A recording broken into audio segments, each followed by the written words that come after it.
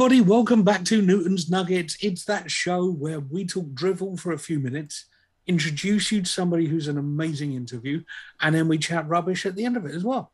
I think that's pretty much the synopsis for the every single show Uh, no, because there's Paul and Jesse shows where we just talk rubbish. where we just talk rubbish for about three hours, right? Yeah. Well, three hours if you didn't edit it. Yeah. Yeah. Yeah. Yeah. Okay, good. Um, um, what can we say? I mean, Pe- people have started watching our live streams. They know that we're heavily, heavily edited down now. Mm, Right, actually, okay. Let's do that first. Let's go through some of the things that me and you have been up to in the last week. We warned everyone last week that we were doing account. I was doing Accountex and sits, and you were at Accountex for your proper job. Oh my word, that hurt my head. well, us both being there with different hats on, so to speak. Yes, I mean, you different actually had your hat reasons. on. And I did have my hat on, and it got seen. Yeah. And I did two keynote talks in two very different events, but my talks were only like two hours apart. So I had to do one, run like a maniac to the other one to get set up there as well and do that. Now, the thing that freaked me out, Jesse, and you know I have a, slight issue with this, Yes. go to these things knowing that I'm not known at all. Okay. Yeah. I know that nobody knows who I am, and they just go, "Why is that weirdo got a hat on?" And that's it. The first one, every chair was taken, and there were people standing all around it. Yeah. I think there was something like 200 chairs. Yeah. Okay. And then I started justifying that because I did Accountex Manchester at the end of last year, and I thought maybe words got round and they've spoken to other accountants. Mm, maybe. Maybe. So then I thought the sits one, that'll be quieter. That's only going to be like 30, 40 people and that'll be fun. That had about 200 seats in it. And all the seats were taken, and there was people standing around every inch. Jesse, Yeah. I think I might need to admit that maybe more than seven people know who I am. well, well, considering this conversation started with the fact that we started streaming and you're averaging more than seven people per stream. But well, we've been streaming for right. So we're recording this on Monday. I've been doing streaming gaming for three days now, four days, Four days. four days, and I've got something like forty-two followers, and and my last stream had some an average of twelve viewers throughout the whole thing. Granted, one of them was me. Yeah, one of them was you. One was my dog. one, Your dog does not have a Twitch. damn it! I've been foiled again. You found me out, Um, mate. It's all a bit It's possible he does have Spotify and is one of the seven that download this this podcast. Yes, yes, he's one of the seven. He stole my old phone, which when when I class it as my old phone, that means it was made in 1971. Yeah. Um, I'm getting seriously, Jesse. I'm getting confused with this. Um, I quite like the podcast because if I just don't look at the download numbers, I can believe it's seven people. yeah. Now I'm out doing live stuff again. You kind of see the people. Um, what the hell have we done? What's What's very funny to me is that we talk about the seven followers, and I don't know if you've looked at them, but I I uh, What looked I've at each the- of the seven? No, no, no, no. I've looked at the numbers. Uh, I've seen how many downloads we've had today. So I don't want to look, do I? not really. No? Should I just leave it alone and walk away? Yeah. Got it. Thanks, mate. Um, ladies and gents, and that's why if you ever find yourself in this weird position that I'm in, you need a mate working with you who will happily hide all the stuff you're scared of. In this case, followers. in this case, all the nice people that follow us and listen and emails. Um, and the emails I get in, I've just decided that there's only seven people, but they change their names every so often. Of course, yeah, sure. Awesome. Awesome. We got this. We got this. So, yeah. Right, talking of you being at Accountex and doing public speaking, Paul, Yeah. It was, I'm trying to segue into our. You know, yeah, this is, well, it works quite beautifully, this one, doesn't it? Because the speaking stuff, is really what has helped mental theft get known. Yeah. Um, and when we, were, even from that first conversation we had about the business, when I came to you with an idea, and I was fully expecting you to say things along the lines of "Don't be a numpty, this will never work." God, I wish I'd said that. It would have been so much less work for you. yeah. Um, but yeah, you turned around and went, "Yeah, this this works. Let's do the speaking stuff to to see if there is a market and how much help people need." Mate, can you imagine if we hadn't gone down that route? All the stuff we're doing now wouldn't have even kicked off. Yeah. Um, so that does segue into today's interview, which is an amazing lady called Jackie Goddard, and she helps people with being able to speak confidently about themselves and their businesses. Um, and we also go off on one about musicals. Yeah, you do. I'm sorry, I, I'm still uh, I, I still. I still enjoy. Oh my word! I got all flouncy then. Did you notice I started doing hand gestures? and stuff? I love the musicals. It's fine. Because, uh, as a side note, I uh, was photographing a wedding at the weekend, and um, one of my friends um, always, she always makes a joke about um, about how camp I get with doing different things. Um, partly because she's in, she's got a very large LGBT community around her yeah. and so she when I was working with her she um she once gave me the award of campest straight person she knew something along those lines. That was You? funny. Me? Oh no, so but I I get when I'm doing the photography I find that especially when I'm essentially telling a crowd of complete strangers what to do I find that I go quite camp extra camp because Really? it's it's less it's less authoritarian when I'm barking orders at them basically. It's friend I go very friendly and warm and cuddly and it just comes out very camp from me. And so what that tends to mean is and and but that doesn't really I never really think about it. But because she was sat in the audience of this wedding, she was a guest, I'm just like every time I said something, I was going, I know she sat there clocking that, and she's gonna bully me about that later. See, I haven't even met this lady, but I'm so on her side. oh yeah, oh yeah, she's. I mean, she's right, and Yeah. it's funny. Yeah. And on that, on that lovely note about imagining Jesse being as camp as possible, ladies and gents, here's today's interview. We'll do it. We'll do an advert quick, and then we'll go to today's interview with the lovely Jackie Goddard. See you in a bit. Newton's Nuggets. Okay, this advert is for Nicky Booton Coaching.co.uk. Now, Nicky is a confidence coach. She specializes in survivors of domestic abuse. So, for once, you're going to hear me go a little bit sensible for a while. This is not instead of counseling, okay? Counseling is about dealing with what's happened, whereas Nicky works with people to help them change their future. Nicky's been a great friend to this show for a long time, and she's actually one of our first guests that we had. So please go and have a look at nickybootoncoaching.co.uk. And you know what Jesse's like. The links are going to be in the description. So you can just click on one of them and go and have a look at what Nicky is up to. Thanks a lot, guys. Newton's Nuggets. Hello, everybody, and welcome back. Now, we've just given you a little quick intro into this lovely lady, and I want to introduce you all to the amazing Jackie Goddard. Say hello, Jackie. Hello, Jackie. I love that you just did Jesse's gag. We've been using that gag. for Oh, sorry, years. Jesse. No, no, you are allowed. You are definitely allowed. Anyone joining in with any of the gags that we've had in the past just makes me prouder and happier. I, I love that. Um, Jackie, so first of all, I'm going to ask you the annoying question that I give everybody.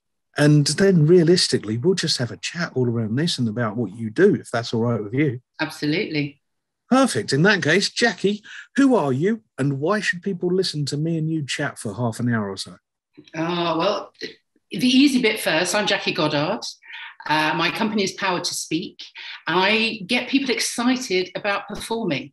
So, whatever that is, whether it's their business idea, their message, um, anything they need to put themselves across to their customers, clients, audience, so whether they're a leader, a speaker, um, an entrepreneur, whether they've got to pitch, whether they've got to just entertain. You know, it's just about getting their confidence up, helping them with their their speech, their clarity, their confidence, and you know, a little bit of content as well. And do you know what, mate? Even even when I've seen you in online networking sessions, I've noticed that once you say what you do, the people who follow you up their game a bit. really? And, yeah, I've really noticed that people go, "Oh, oh, she's got a point with what she said," and they sit a bit straighter and they pronounce it a little bit better. Yes, a little bit clearer. Make, yeah. So, how did you get into this? Why why did you start wanting to help people with speaking? Well, I think it comes from my background in acting. So growing up, I always wanted to be an actor. You know, I used to put on plays in the school playground. I used to drag all my friends into it. I'd direct, I'd write the script, I'd star, I'd do everything. And then Friday afternoon into the classroom, and you know, it was that was my time. And then as happens, and I think you know we may have had this conversation before, Paul, because I know we come from a similar background. We are both theatre lovers. And that you know you go through secondary school and suddenly everything kind of gets squashed out of you, and no, you can't do this really, you know. Um, and so the acting kind of went out of the window a little bit because my careers officer sort of went, mm, I don't think so. You know, acting's not really a job, is it? And so I ended up going to art school, which was fine. I was, you know, I loved art. Um, so by the time I got to about 30, I ended up as a fashion designer, bizarrely. And uh, yeah, yeah. Uh, which is a horrible business. Let me let me put. I'm so glad I moved. I ended up in theatre because I hated fashion. I ended up sort of transferring across into costume in theatre uh, because a friend was working at the Royal Shakespeare Company. And so I got in there as a dresser and it was stood in the wings, just listening to the actors on stage, thinking, I can do that. I mean, I, they, I mean, they were fantastic. but I'm thinking, I'm no worse than, you know, I could, I could do that. And so aged 30, nearly, yeah, 30, I think, I went off to drama school and I did it. I, I went to drama school and I loved it. Um, you know, I felt like I'd found my tribe. Every, you know, everything about the theatre was where I was meant to be. Um, and so from that, I did some auditions. I did Edinburgh Fringe. I did lots of. I loved new plays, new work. You know, people were writing new stuff. Um, I loved the rehearsal part of it all. You know, I just loved it all. Um, and as you probably know, it doesn't always pay the bills you know to, auditions you don't get paid for going for auditions. No you can go to thousands of auditions a year and earn nothing. Absolutely. And yep. so i kind of got into teaching kids mainly sort of drama club kind of stuff uh, just to supplement uh, the the acting work which was you know quite thin on the ground to be honest. And through that i kind of came back to directing because i was obviously putting kids shows on. And then about i don't know eight nine years ago i ended up i'd always put off teaching adults. Always a bit scared of kind of teaching them acting or you know doing anything with adults. But once i started working with adults it was a revelation. It was it was lovely. I mean kids love to play. They play whether you know that's what they do. But as adults we just don't play and no. to get a group of, uh, of adults in a room and just say to them right make it up as you go along. You know this is this is your theme this is your title off you go. You know you can be whoever you want to be. And for that two hours they just played. And i could they'd come up to me at the end and say this is therapy you know this has been like a therapy session.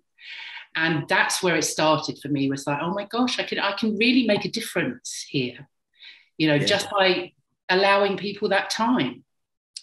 Um, and so once we came into lockdown, all my work in any venue, you know, workshops I was doing in schools, in arts centres, all those places obviously came to a crushing halt.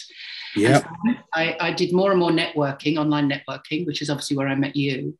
Um, and just realized that actually everybody in our sphere, anybody running their own business, anybody leading a team, anybody having to sell themselves, market themselves, needs what I learnt when I was trained to be an actor. And I now realize that it's it's incredibly beneficial to everybody. The techniques, yeah. the playfulness, the improvisation, everything. Yeah. No, I, I completely agree. Um, actually, you've hit on like three or four points there that I'd love to chat about. But you're right. As as adults, we we stopped playing, and I kind of look around and I think that's a real shame. Now mm. you're talking to a guy who knows that he still plays a lot. Okay, and and I know that I I turn everything into theatre whenever I can, and I have. Um, Jesse Jesse does find it funny because I have pretend diva moments because I'm possibly the least diva entertainer that you will ever meet. But I, I love it. I love you know pretend flouncing because it's it's just me messing about. Um, but there was a couple of things that you said there that kind of hurt and kind of struck a chord when that careers person said acting's not a real job. Ah, oh, really? Well, to be fair, she didn't actually say it's not a real job. What she, what happened was she said, "What do you want to do?" I said, "I want to be an actor." She said, "Do you belong to a theatre group?" And I said, mm, "No." She said, Are you in any school plays? And I said, Well, I was in one. She said, Do you go to the theatre? And I was like, Well, I grew up on a council estate. There's there was nothing near me. There was no opportunity. It wasn't in my sphere. So I said, No. So she said, no, you don't want to be an actor. She said, if you wanted to be an actor, you'd live, die, and breathe the theatre. What else can you do? Oh. And I said, well, I'm not bad at art. And that was it. I was off to art school you were off to art school and, and somehow ended up doing costume design instead. Yes, yeah. And, and then and then yeah, something else you said, which I absolutely loved, was standing on the side in the wings of theatres. Mm. It's a magical place, isn't it? it is, absolutely. Because we all know if you're in that position anyway, if you're stood on the in the wings of a theatre, you know you've got to be as quiet as anything because you don't want to wreck it for the audience but you're also in a place that not many people are allowed to be.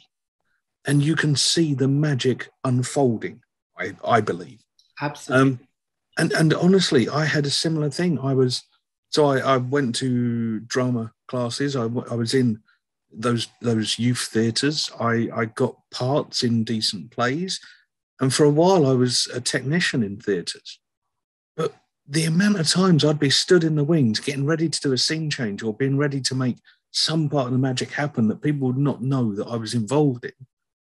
And I'd be listening to the actors going, I don't think I'm big headed, but I could do that. Mm.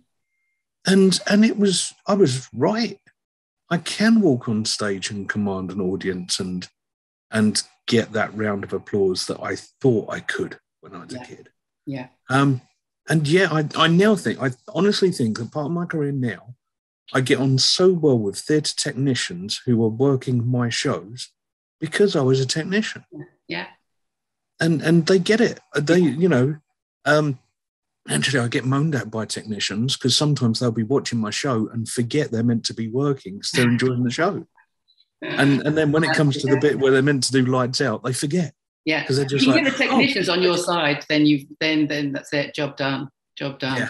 But I was and, actually in the um, in the pit theatre in the Barbican, which is like in the seven floors down. I mean, this is like this is why it's called the pit for a reason. I mean, it's like where they buried the dead during the plague. I mean, it was like we were a long way down, and so it was their studio theatre. So it was on three sides, audience on three sides, and they had these uh, voms that came out sort of on a diagonal. Wow. And literally, it was just so everyone was the stage was on the floor basically, so you were incredibly close, and the backstage area was so small and so tiny. But I used to love those tech rehearsals because I just sit in the audience. Didn't matter who I was dressing. I dressed Judi Dench was one of the actors. I, I was was one of my ladies, um, and to sit and watch Judi Dench being directed by Peter Hall. Wow. Uh, Michael Attenborough was directed. You know, I mean, just some to sit in an auditorium with Peter Shaffer I mean, it was just an incredible experience, you know, just to sit and watch these people and think that's that's where the magic happens. It's that collaboration, and that's what I love to bring to what I do now. Is is the collaborative atmosphere that I felt and I was part of at the the Royal Shakespeare Company because everybody is, you know, everybody's part of, of that making that magic happen yeah, everybody there is, a, is, a, is at a point in their careers where they want this to be the most amazing thing for that audience to see. Yeah. And, it, and oh, mate, some of the names you just said there, that's got to be amazing. Yeah, it was. Was. You know, and and it's and you're right. Those production moments when you know there's a desk in the middle of the auditorium that's only for three people, and you can sit there, and there's only maybe six people sat in that audience yeah. watching this thing unfold and become amazing and become the show that's going to go out to the public. Special moments, really special moments. Yeah, absolutely. So you went from love of theatre, and I know what you said. I know COVID had a had a massive effect on my business and what I was doing and how I was delivering it. Um, and something you said in, in the start was everyone needs to to uh, I'm going to word it badly. I'm not going to get exactly what you said, but everybody needs you. Everybody needs to realize that they can promote themselves. Yeah. They can speak up. They can use their voice. Yeah. And I actually, do you know what? I don't care if what they're doing. Okay.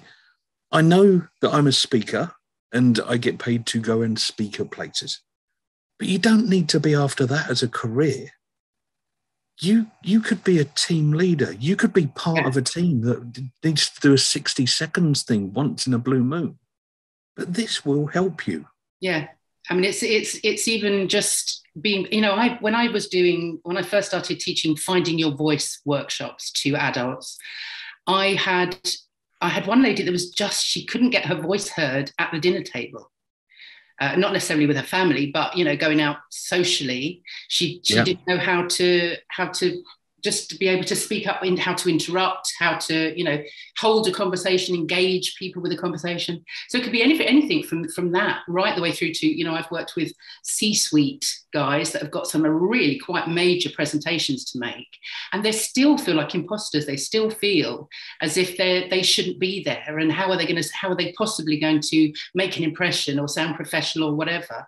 And sometimes yeah. it's just, it's just having someone like me to, to say it's okay. You can, of course you can. You're, you know, you're more than worth being here and, and speaking speaking up and people want to hear what you, what it is that you have to say if it's if you believe it's worth saying then it's worth it's worth listening to it's so right and your example there of somebody just being able to speak up at the dinner table it's a great point mm. because you know i've been in entertainment and and comedy for years so I know when there's the right pause, or I know, you know, the moment of shouting shut up in a funny way just because I want to take control for a few seconds.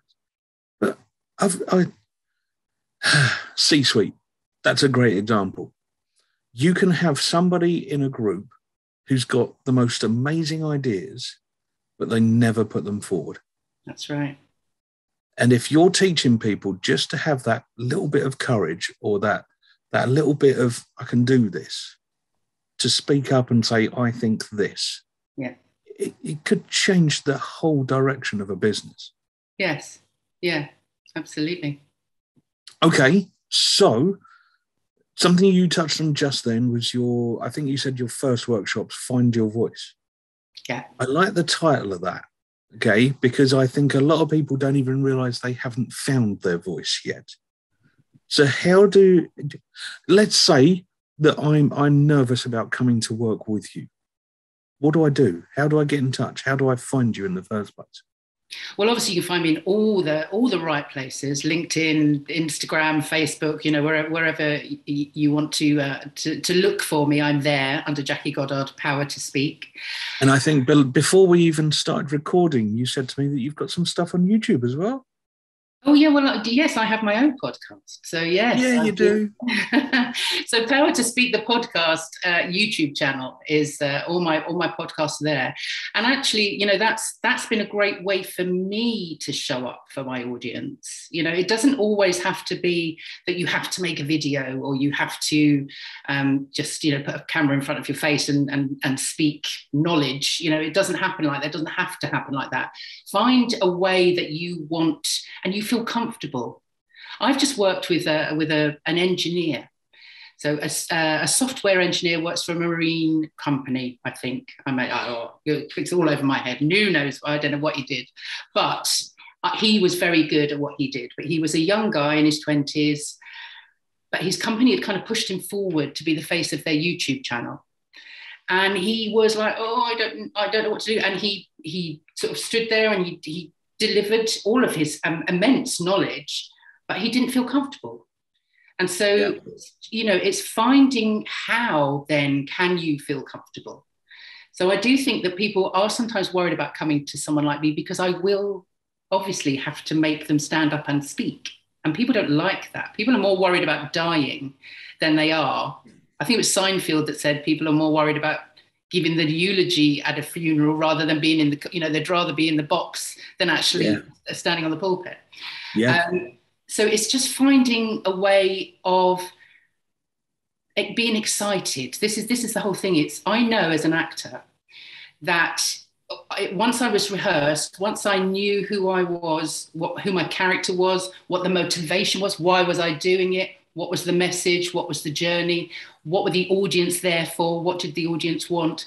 Once I'd answered all those questions and I was prepared in my with my content, I was excited about sharing it. It was I'd, I'd done all the work. I knew everything that I wanted to, and then it was just to step on that stage. And I don't want people to be frightened for sharing their message. I want them to be excited. I mean, you can be anxious. Obviously, you're going to be nervous. You're not going to get rid of that. But those ner- nerves show that you care. Yeah. That's the reason you feel those butterflies. And actually, those butterflies is the same, it's the same feeling as being excited. Yeah. So it's just about changing your mindset, getting yourself to a place where you go, no, this is, people need to hear this. They need to hear from me. I need to, you know, stand up and be heard. And, you know, I have something to say that's worth saying and get to that point where they're excited about, about doing it. It's, funny, isn't it? I, I, I, had I had a weird moment. I had a weird transition um, when I went from being an actor who had a script and was told what to say and how to say it, and a director who who gave you details on what to do, where to move, why you're doing it that way. Um, even you know the lighting designer that said at that word you need to hit this spot because that's when the spotlight's going to hit there. So you, and when I was an actor, I kind of enjoyed the the fact that a lot of those choices were not mine. Yeah. I just had to do as I was asked and put the emotion in. Then when I chose to go out as a magician on stage, and I went, I've got no script. It, it's me. Yeah. That for me was a weird moment, and I remember feeling, I remember feeling fear then. Now you're right. I, I agree with you. Those butterflies in the tummy thing, that's the same as excitement. But at the time I would have told you it was fear. Yeah. And and the way my body behaved on that day, that was fear. Okay. and but I remember sitting there and one of my friends said to me, But you've been on stage thousands of times. You can't be scared. And it's like, mate, you've got no idea. This is different. But then I walked out there and I remember getting a round of applause just for walking out. Ooh. And I thought, oh, these people actually want to see Paul Newton. And it gave me it, it gave me that weird thrill and buzz that you can't explain to people unless they've done it. Yeah. Um, and I was like, this is it. This is what I've been after. And now I don't have to learn scripts. And and, and that moment. I'm sure you so, have to practice, don't you? Um, yes. um, I tell you, the first time Jesse ever filmed or videoed, uh, photographed one of my shows, before the show, he said, "Right, so what are you going to do?" I don't know. No, no, but I need to get some idea of what you're going to do. I'm really sorry, mate, but I don't know. I literally walk on with a few bullet points and I go for it. Um, and yeah, Jesse just gave me this look of, "You're not joking, are you?" No, no. no I mean, that's that's absolutely fine, and I and, and you know I say that to people. But generally, people that can go on and do that, that have so much knowledge in their head, they've they've rehearsed it, you know, a, a thousand times, you know, without even knowing that that's what they're doing. So I yes. can I can walk out on a stage, you know, every time I go into a classroom, every time I go into a workshop with a group of people I don't know, there's an anxiety, I don't know if it's an anxiety, an apprehension before I walk into that space. I've planned the lesson. If you could see me now, I am surrounded by, by bits of paper, all with stuff that I've spent the last 25 years saying. But it's, you know, it's my security blanket. I know it's there. But if you yeah. take things away, I wouldn't stop talking. I don't know if you'd noticed. I quite like to talk, but you know, the knowledge is all the knowledge is all there.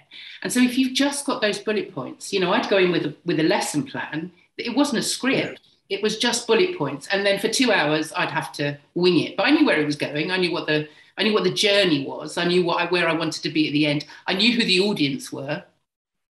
I knew what they were expecting. So you know, you can wing it when you are when you've got to that stage. And do you know what? My little bullet points are pretty much my comfy blanket. There's there's my book for today for those yeah. of you watching on YouTube. And in my book, I've got my eight bullet points that I can use while I'm chatting with you. Um, so far, we've used one, and that's pretty much how it goes. Um, and again, people find it funny that I'll have eight to 10 bullet points and in most shows, I only use two or three of them. Yeah, I'm the same in my classes. I was always the same in my workshops. You know, I'd have a list of things that, and I think maybe I took, I learned that from teaching kids. Is because if you give it, if you give a, an eight-year-old two seconds where you haven't got them pinned down and doing something, they will run rings around you. So I had to make sure that I had like more than enough stuff to do, so that yeah. there was never a hiatus. And There's always a something next. Yes. Now now, what I will say to anyone listening to this is it's okay to be different to us. Okay. I've, I've finally found someone that works very similar to me. this doesn't happen very often for me. Um, I've got friends who are also amazing magicians and amazing MCs and amazing speakers, and they have to script everything and they have to fully rehearse it. And they get so annoyed if they miss like one word out of their own script. Whereas I just, I can't work like that. That, that would just do my head in completely. Yeah. Um, so it's nice to meet another bullet point type of person. I'm so happy. Um, okay, so I, I decide that I want to work with you. Okay, I, I decide I've seen you at networking, or I've listened to you on this podcast, and I think actually, yeah, she can help me with this. Um, what workshops are you doing now? Well, I do. Um, I've got a sort of, I suppose, I've got seven different programs, and they're all for different things. So I've got a um, they're, they're mainly sort of one-to-one coaching programs. So it starts with like a power hour. So it might be that you've got um, a speech or a talk or a presentation coming up next week, and you've suddenly gone, "Oh my God, I've got no time to prepare. I've got the I've got the bones of a talk. I've got the bones of a presentation.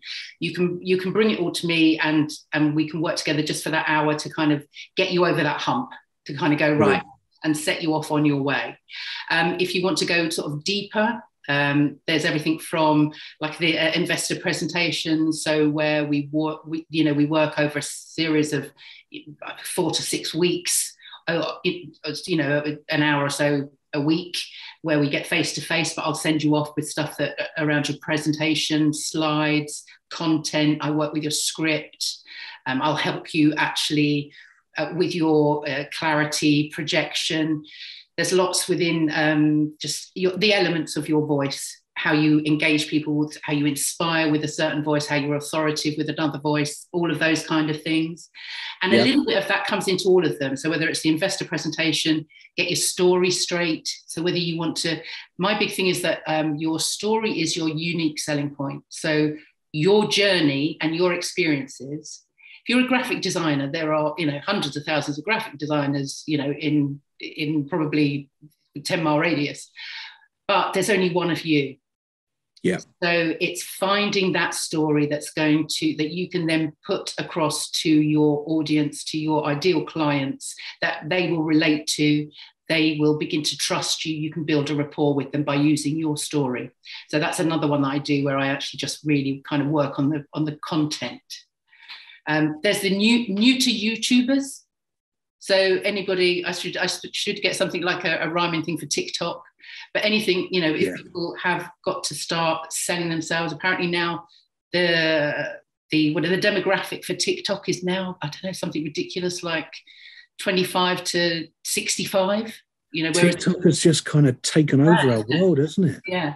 Um, so yeah, anything like that, uh, pitch it, pitch it to win it. So if you've got a pitch that you need to be doing to investors, if you're a small business owner, an entrepreneur, and if you're a speaker, if you've got a message that you want to get out there, if you're doing a TED talk, if you've got like a, a presentation that you need to do on a larger stage, then I will. My whole thing is to bring, I get people to that kind of performance where they actually are excited about stepping out on the stage, whatever that is, or, or stepping in front of a camera. And that's amazing, isn't it? Getting someone from the point of uh, where they're fearing it so much, like you said, they'd prefer to be in the casket than doing this talk. Okay. Yeah. To actually, I'm going to enjoy this. I'm going to have fun with this. And not only that, I think they're going to love it too. Yeah. That's that's a different world. Yes, from fearful to fearless. Love that. Right. So you're not going to make me suddenly. So I'm. I know that I'm a bit scared of doing this speaking thing. I know I'm nervous about it, and you're not going to suddenly make me have to talk in front of a bunch of strangers on day one. No, gosh, no, no. I mean, and it, might not even be that that's what comes out at the end it. It really is. You know, you can't force anybody to do something they don't want to do. You really can't.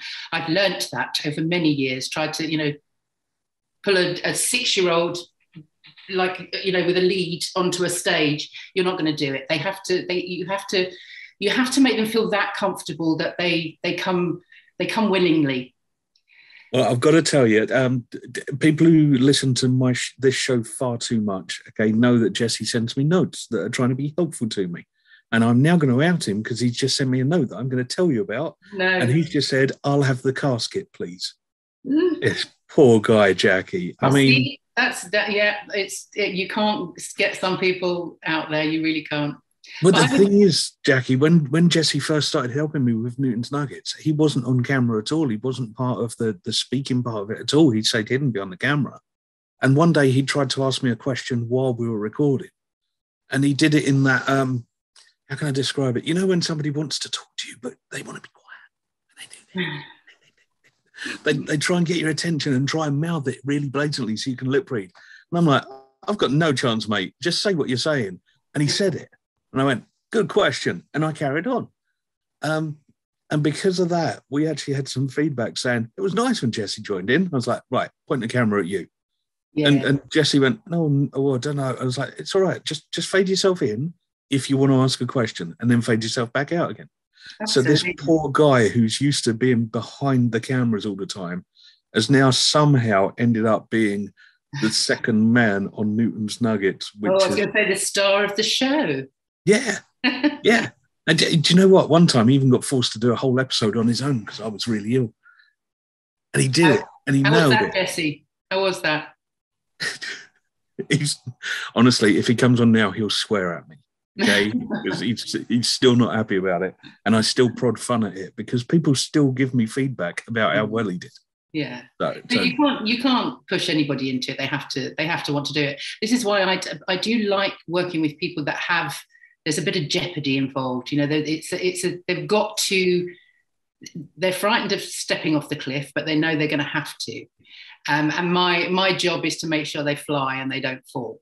So you know, it's that kind of you know they've really they've really got something that they need to put out there, um, and that's that's where that those are the people that I really like to help. Do you know what? I had a lady who was a best man at a wedding a while back, who I was doing magic at the wedding, and she just came up to me and she went, "You're good with this speaking stuff. What on earth do I do? I'm I'm doing the best man talk." And and she's she even said to me, "I'm a woman. I thought I was safe from ever having to do this. and and I kind of giggled and had a laugh with her. And I did a little bit of hypnosis and NLP and got her to realize that actually this isn't a case of everyone's trying to trip you up. No. This is a case of everyone in the room loves you and loves the relationship you've got with the groom. Yeah. And you're also best friends with his wife. How awesome is that? Yeah. And within like a minute, she was she turned the way she was looking at it and just went, this is an absolute privilege and I'm going to have fun. Yeah, absolutely, absolutely. It's, it's you know what I say to any any group of actors I'm about to send on stage. It's you know what's the most important thing, and they'll all go to have fun, and that that's it. Because if you if you go on stage and you know this is a, as a business person leader speaker whoever you are that could be literally on a zoom call and you are not enjoying it your or you don't believe what you're saying then your audience are not going to believe it at all and, and that I learned from that I learned from working in the pit. I was dressing an actor called Toby Stephens, who is Maggie Smith's son. And he, he came off and he'd been, and I have told this story before on podcasts. If anybody's listened to me before, they'll be sick of this one, but it's a good one. Uh, he came off stage having been under a sheet with an actress, uh, simulating having having lots of fun together, the two of them under this sheet. And as I say, the pit was a tiny little place, I mean, tiny stage. So the audience are literally on three sides on top of you almost. And so I'd been through all the technical rehearsals with him, obviously dressing him for quick changes on and off. And he came off for this quick change. And I was like, how do you do that? How can you do that without laughing, without getting so embarrassed that, you know, you're having to make all these noises and do that? I, mean, I was just mortified for him in front of the technicians, in front of, you know, everybody. And he said to me, well, if you don't believe what you're doing, then the audience won't believe it. And it was just suddenly just like a light bulb went off. And I thought, that's the reason I'd not been able to had the confidence to be an actor before is because I didn't realize that. I'm not stepping on the stage as me, I'm stepping on the stage as a character, but I have to believe I am that character. I have to believe what I am doing is the truth and you know the absolute truth of, of the character that I'm portraying. And that's the same for all of us wherever you go, whatever you speak, you know, whenever you speak, if you don't believe in your heart what you're saying is the truth, then your audience will just go, eh, don't believe it either. If you're not enjoying yourself, if you go into a network working space and are, are sort of nervous looking down at your phone, whatever, you're not going to engage anybody because because they won't they won't believe you. If you're not enjoying the process, they won't enjoy it either. No, and you know what? As a, as a magician, I've had moments when things haven't gone the way I wanted them to, and I've literally turned to the audience and gone, well, this hasn't gone the way I planned. And I'm I'm switching the trick around in my head and, and trying to create a, something else to finish. And and I've had audiences that have never met me before going, You've got this, Paul. It's all right. We can we and that's the difference. I'm not one of those arrogant magicians who expects it. I get an audience on my side and then we go on a journey together. Yeah. Um and you know what? You're right about the acting thing. That was what I loved about being an actor was I'm somebody else for a little while. Mm. They're not actually here for Paul Newton. They're here for uh, Bob, the musical singer of whatever the Fiddler on the Roof time was about. It's it. Do you know what I mean? It's yeah, yeah. You turn into someone else yeah. for that hour and a half. That's great fun. Yeah, I love it. I do. I, I miss it. Do you, so, do you think you're going to go back to theatre life at all? Um, I don't know if I'll ever be an actor again. I mean, I did love acting. I really, and I, and apparently I was quite good at it. I, you know, I had reviews. I was very good, apparently, instinctive, I think. Um, but I think what I love is is that kind of overview of yeah. of telling the story. I mean, I found it quite difficult being an actor. I mean, I was always, I always did what the director told me. It was their their show it was their gig that was that was fine but for me it kind of took some of the creativity away from being an actor because i couldn't i couldn't always use the instinct i couldn't always do it the you know i couldn't always find the motivation of why should i walk across that side of the stage and sit there when actually i yeah. feel like my character would break down here you know it's it's it's very difficult to do that thing but you have to be over there because the scenery needs to come on here and you can't be standing you know. So it's it's that it that's quite difficult sometimes. Yeah that's the difference isn't it between there being a very good technical reason for you to have to do something to a very good storyline and character reason. Yeah yeah. And and sometimes we have to fake that bit to, yeah. to make the magic of theatre possible behind yeah. us Yes, and yeah, I remember one actor really upstaging me quite badly. He used to he had to twist my he had to take my arm and twist me, and and sort of pull me down. So I was sort of down on my knees. And every single night, because then I had this huge speech, this huge monologue to do, and he'd do it so I had my back to the audience. But you, I couldn't. You can't then go hmm, and then turn around to the audience, you know, and perform. You've got you've got to stay there because that's where he's put you, and that's it. That's it. That was quite difficult to. I was thinking, oh, I don't know if I can if I can do this full time. So so I'm yeah. I think I'm more of an more of a director than I am an actor. So that would that would be nice. I quite fancy making a film one day. And do you know what? You've just reminded me of something that uh, a, co- a business coach that I love to bits, Mr. Ian Dixon. He's a past guest on the show as well. Um, he said to me years ago, if you ever want to be an expert in something, you've got to get on stage. Um, and Ian's actually an introvert, but he's really, really amazing at hiding it and pushing the extrovert to get on stage himself. And I remember when he said that to me, I even looked at other magicians, and loads of magicians don't like being on stage. They prefer staying doing close up. And I thought, I think he's right. If I can do stage stuff for 20 minutes, half hour, I can prove I'm the expert in that. And then actually it makes the close up even easier because people already know who I am. And yeah, I purposely pushed the stage side of things and it has paid off. Yeah. Um, so, so, ladies and gents, if you're listening, not only am I pointing out to you what Mr. Ian Dixon said to me that helped me loads, I'm also saying we've now got a lady here who can help you get on stage. Um, mate, I love what you're doing. I really do. We've already taken too much of your time.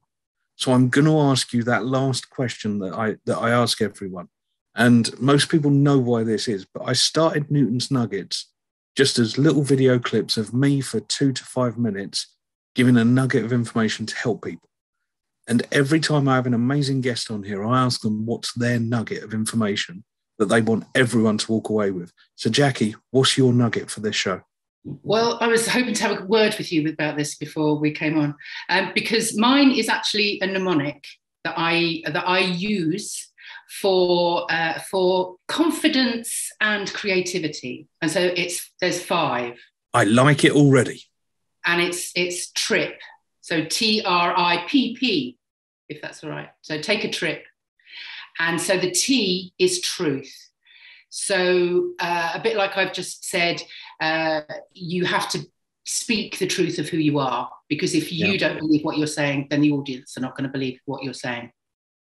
The R is stay resilient. So we often look outward for uh, for our kind of uh, external. We look externally for the answers to our problems. So we look at yeah. social media, we look at the news, all of those things, and it just exacerbates what's going on inside us. So look inward for your own resilience. Look to yourself, and really, you know, build that self awareness to really strengthen your resilience. I improvise always improvise and we do it all the time anyway so every time we open our mouths we speak never knowing what response we're going to get. So you know it happens it's what we do we improvise. And don't be frightened to improvise. It's where the magic happens. You know it really it really is uh, where creative creativity comes from as well. So uh, that's the ip the first p play. We spoke earlier about play. Mm-hmm. Whatever that might be for you, give yourself headspace. You know, just have fun, have a laugh, give yourself permission to step off the treadmill. And that's where inspiration and creativity strike, is when you are not thinking about it, you're just playing for the sake of playing. And the last P is be positive. So, yes, and rather than no, but, and just see what happens. Yes, and is a big great improv game. You aren't you you end somebody will ask you a question and you answer it and then say yes and and then somebody else can and it, it kind of builds the excitement, it builds playfulness, it builds positivity. Whereas if you say no, but you know, it, automatically you're on that downward kind of. Uh. So yeah, keep keep the yes and. I love that, mate. I love that, and and your thoughts of an improvise as well. You're right me and you came onto it. I, I told you roughly how I work these shows that I just use bullet points to get me through. And you just said, that's all right. We're just going to make it up as we go anyway. And as yeah. long as we talk truthfully to each other, does it matter? And we went for it. Absolutely. Um, And Seriously, Jackie, thank you so much for your time. Thank you so much for this. I think this is going to help a lot of people. And, Well- and I know what Jesse's like. I know he's going to put links up to all of the places people can find you. Um, fingers crossed, you'll get some people contacting you and saying, You did that silly little podcast with that bloke who wears a trilby. Can we have a chat? I would Um, love that. I would love that. Awesome. Jackie, do you want to say goodbye to everyone? I would love to say goodbye to everybody. Goodbye. Thank you for having me. It's been a pleasure. Ladies and gents, uh, me and Jesse will be back in a minute after a word from one of our sponsors, and it will be us two talking about Jackie behind her back, and she won't find out what we've said until the show goes out. Jackie, thank you so much, mate. You've been absolutely brilliant. Thank you. Newton's Nuggets.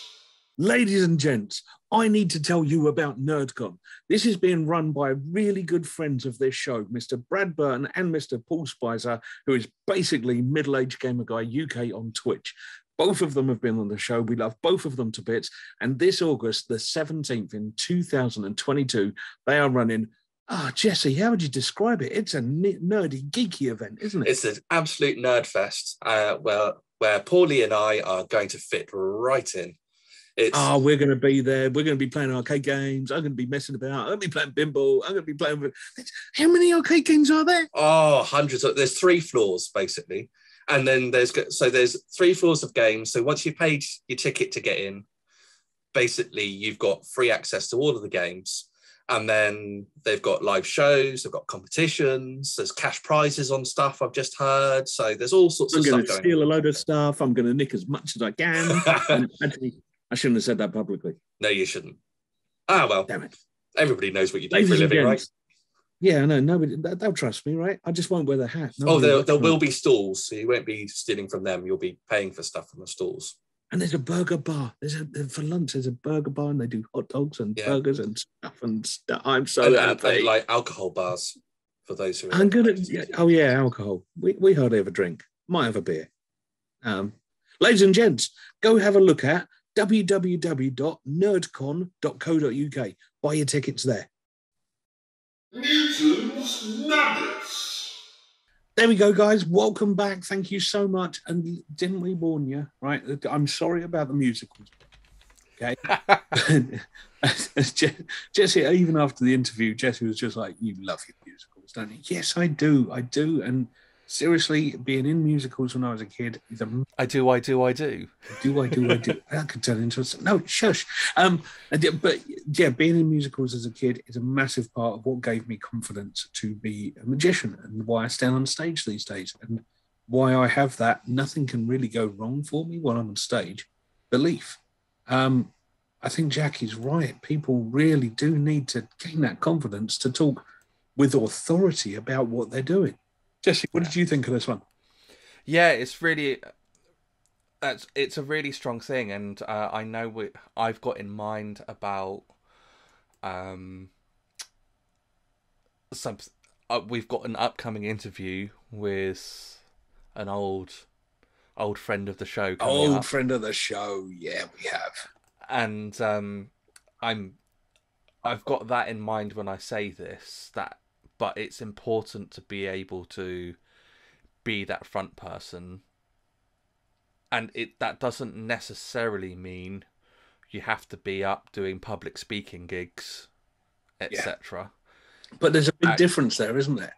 There's a big difference between trying to be a motivational and emotional, uh, let's bear everything, Yeah, or being a, I want to talk about my business with authority, yeah. show you what I'm an expert in and why I'm an expert. Yeah, and and especially because we have so many small businesses listening to this.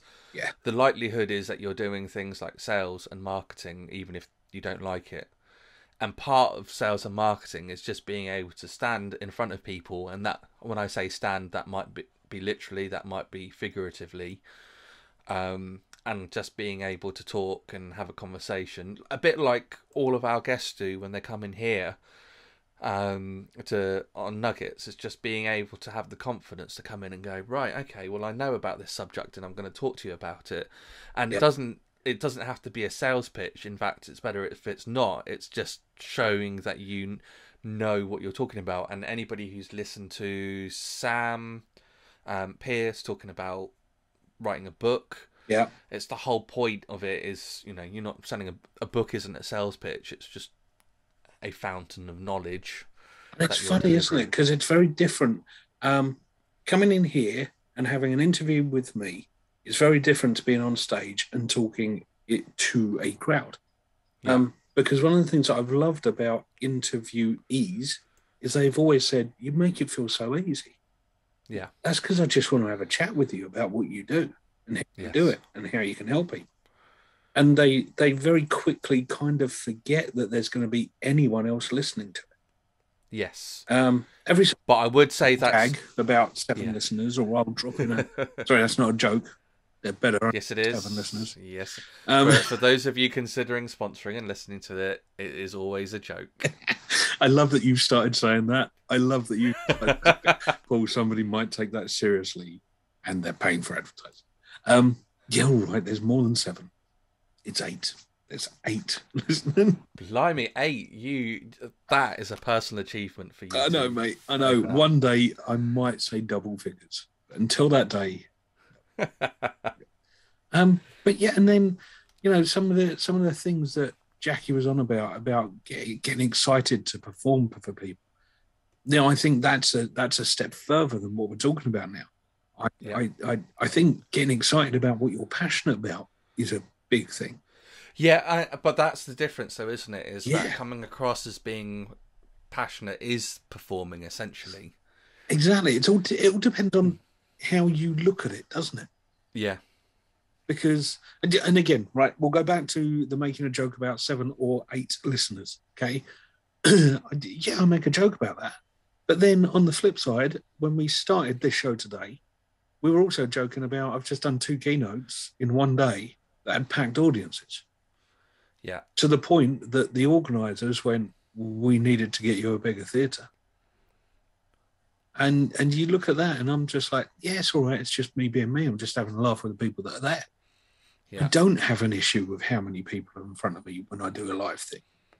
Um, it's just it freaks me out when it's on a podcast. That's all. well, that's it. That's it, isn't it? Because Hmm. it's that state of mind. Because for you, it's all those people knowing who you are freaks you out. Yeah. Because in that audience, in theory, none of them know who you are, Yeah. and they're just getting something great out of out of what you're saying. But Which one was it? It was the one that was thinner but further back. yeah, that was Accountex Accountex. one, wasn't it? And when I was stood there, and a few people came up to me to chat to me that I know, and then there was other people that walked past and went, "You right, Paul? How's it going?" And and I was like, "I don't know you." Um, some people walked past and went, "You right, Paul? How's it going?" And I'm like, "Oh, I know you from this, this, and this." And they were gone too quick.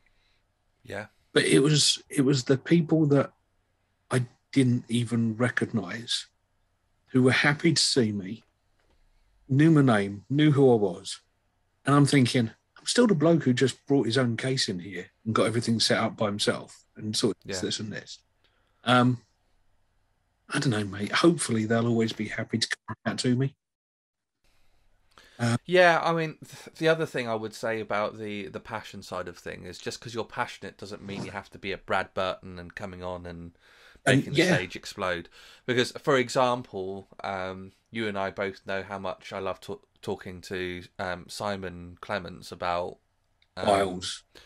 files and branding and design and stuff like that, and he's infinitely better at design type stuff than me. Yeah, all right, wake up, wake up. Thank you. I'm back. I'm back. um, but he, but we, we, we both have a love for it. But I, I also really enjoy his calm style, and but he's still clearly passionate about it, and he knows what he's talking about. So don't think that you can't do it just because you're not going to be, you know, a Brad Burton of this world coming onto stage and. You know, do you feel you like you're windswept from the we've excitement we've coming from? uh, Brad's been on the show. We've talked about Brad before. Me and you have talked about Brad privately as well. Yeah. And something we've both said is so many people are used to his brash exterior and his bouncing around and get you going. What loads of them don't realise is that he will take time out to send to personally call someone and just Yeah. go, "You're right. How's it? Yeah. You got this." Um, I got a voice memo from him yesterday, just saying, "Paula saw the pictures of of Accountex, and I saw see what you're doing, and mate, you've got this. This is going so well." Yeah. I don't know if you if you look at other people within the motivational speaker type world, how many of them would have done that? Yeah. It's funny, isn't it? Yeah, and and uh, something that that Jackie said as well was that you need to change your mindset to realize that people need to hear what you've got to say. Yeah. And I thought that was very clever. Because if you if you are an expert in something, if you are an expert in something that helps other people, then stop putting a mirror up. Oh God, I'm giving myself advice now. This is going to go yeah. Go on. keep- too much of a, a mirror up and looking too closely at you and realize they just need the help from the things that you are an expert. Yeah. And whatever you're thinking, Jesse, shut up. Uh, thank you, Jackie, for being yet another guest that comes on and uh, gives Paul some free counselling and a kick up the backside. Not enjoying this anymore, Jesse. but this is exactly. I mean, it's nice that you're. Uh, I say this jokingly, the punch bag for this sort of stuff, but I think that's why people like listening to the show is because they, um, they get the, they get the benefit from. And and do you know what, mate? I'm sure people have seen changes in me.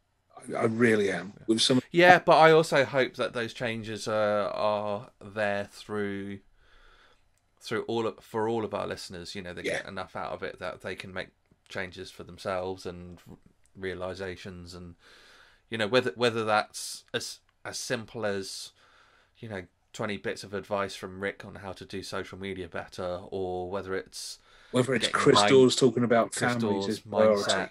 Yeah, whether it's Jay Unwin talking about how to sort out your own diet without being an idiot about it.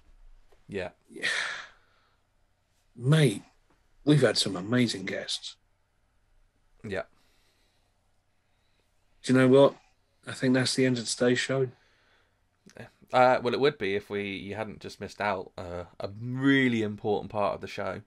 Or we'll pretend that that was it. This is going to be like one of those feel good American films, right? That was the end of the thoughtful bit. Okay. Yeah, but now now we're going to go into the bit where we even have a jingle for. We've got a jingle now. Play the jingle.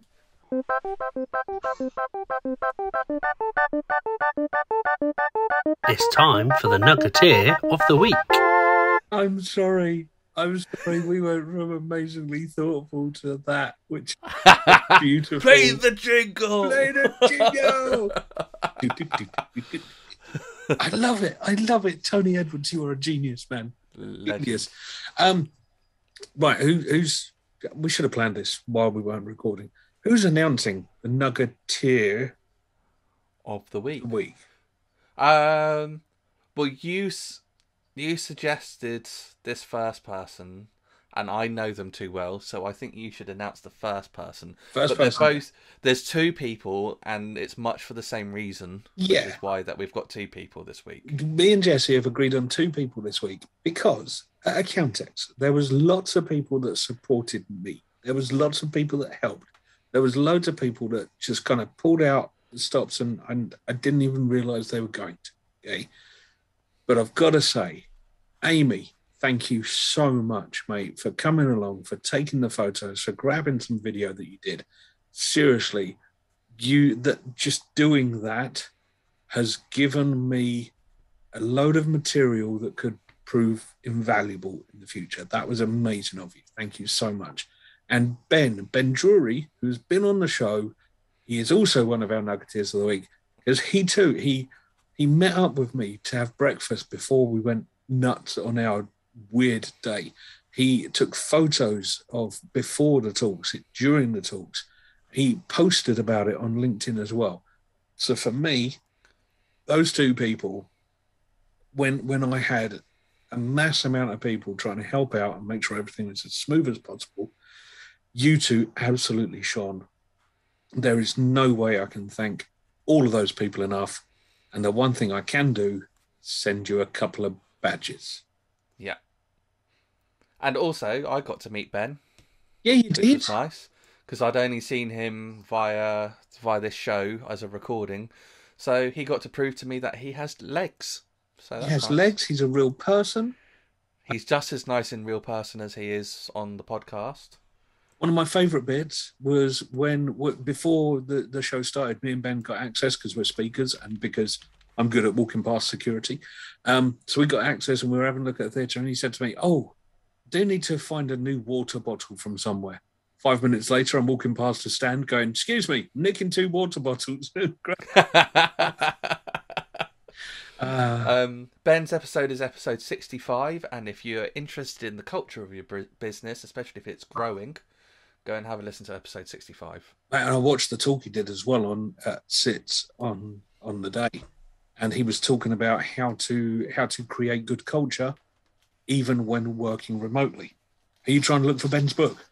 I am trying to look for Ben's book, but I actually have been reading it. I think I've got a copy here if that helps. the the culture book. Yeah, trying to get it in focus just for the people on YouTube. There you go. So if I do that, it goes out of focus. yeah, There you go. which is really important for those podcast listeners. I know. Every single week we do something that the podcast listeners will go, "You gits." That's it, right? Are we done, Jesse? yeah, I think we're done. We are done, ladies and gents. Thank you so much for coming here again. Thank you so much for being part of this.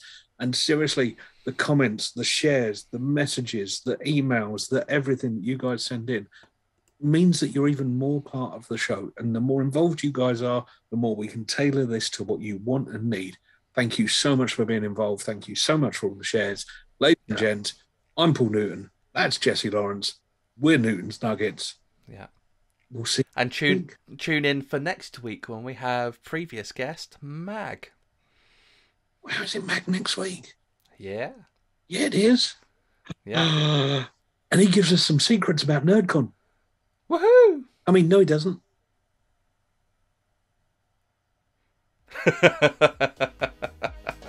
See you next week. Bye. Bye.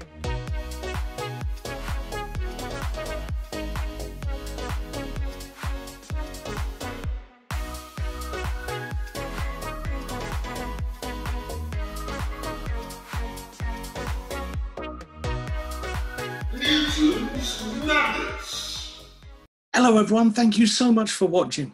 Now, if you want to subscribe, it should be up there. If you want to see more of Newton's Nuggets, they're down there. If you want to see more about mental theft stuff, that should be down there somewhere. And the business speaker stuff should be up there. Thank you very much. Speak to you all soon. Bye bye.